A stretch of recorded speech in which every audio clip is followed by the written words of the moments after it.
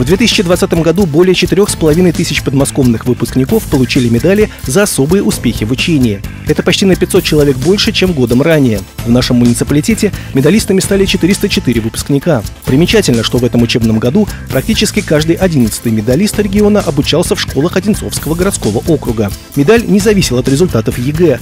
Она вручается по итогам текущих оценок, полученных ребятами в 10 и 11 классах.